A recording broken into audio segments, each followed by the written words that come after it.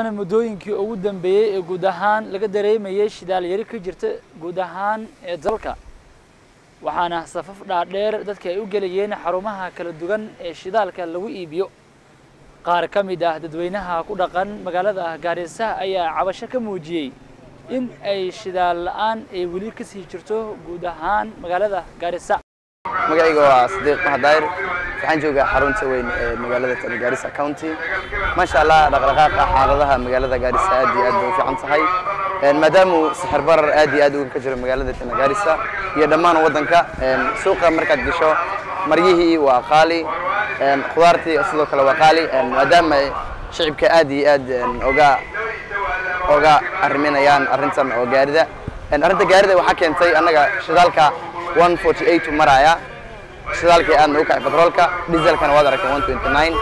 marka ajiliya shidaalka daraadiis ayaa xisaabta kor loogu qaaday ma ogiya wax kale haddaan annaga lacag ku darsanay oo lacagan kas ugu darsanay ma jirto lacagta lagu darana lacag waxaa waayay oo haabka shidaalka maadaama inuu kacay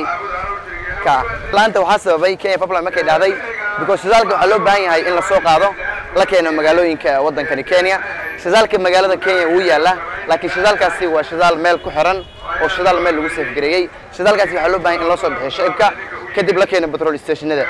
petrolkan shell petrolkan ayaa marmar shidaal imaada ayagoo magaalada ugu raqiisan oo 148 ah meelaha kale litarkii waxaa nagala siiyaa laba boqol oo shilin markaa litarkii laba boqol oo shilin kusoo gadato haddee meeshii hore laba boqol lagu aadi jiray dantaa kugu qasbina afar boqol waxaan ka codsan lahaa inay shidaalka noo sisidayso ayagoo raalli ah because shidaalka waa loo baahan yahay gaaridan ujeedin naftirkeeda qulqulayaan waxyaalaha qaar maamada markay foolato gaarida lagu soo qaadi lahaa waaye ambulance gurigaada kuguma imaanayso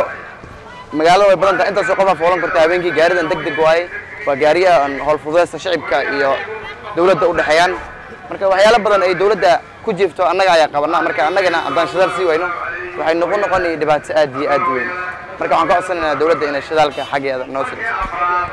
maadaama kenya la sheegay نشيال كلسو سيداي هذانا قارس أنا كده بكون نشيال كي. أو نشيالي أو يالان نلسين هني ما هذا الله ما سرت قلس نشيالي نلسين وياه بدر هالكو حال ميل بالكيني. مرة حال ميل لكن هاي ماجي لكن دتك ولا بقى إنك لو أنا ماجي ولا لسه بعدين. دتك نشيال كي معك قصبي. نشيال كي سكهران أو أود وين نشيال كي بيان لكن دي بدر هالكي مرة ميل كستال لكن نشيالي وين نشيال كي نلخ بحيه سرت قلس ميل لو بقول وياه جرافر بقول وياه يا مان. Thirty eight haddana one forty eight aa laga dhigay saasay sii tolleena u galnaa shidaalkaan ku dhib qabna laakiin batroolka hadii meel kasta la keeno shidaalka waan isticmaal karna saas laaligeeda macaamiisha loo dhib oo keentay waraxmatullaahi wabarakaatu magacayga waa cali macalin cabdi waxaan ahay dhalinyarada ku ganacsato bodaboda gudaha magaalada gaarisa maalmahan ilaa adii suus ramadaan ku bilowday waxaan aad uga cabanaynay yani shidaal yari ka jirta magaaladani maalmahana waxaan maqlaynay sidii kal iyo laaba magaalada waxaa ka jirto shidaal yari. Saa ay tahay waxaan dowladda ka codsanaynaa inay soo dayso shidaalka welibana magaalada gaarisa si kal iyo laaba ay u soo fiiriso. Waayo haddii haddiiba la dhaho shidaal ma jiro. Shidaalada qaarkood waxay samaynayaan inay laba boqol gadayaan kuwa qaarkood laba boqol iyo konton ay gadayaan calaa litar. Marka dowladda waxaan ka codsanaynaa inay si kal iyo laaba u fiiriso gudaha magaalada gaarisa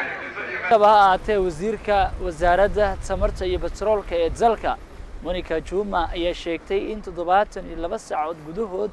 lagu xallin doono caqabadaha ka jira shidaal la'aanta guud ahaan ee dalka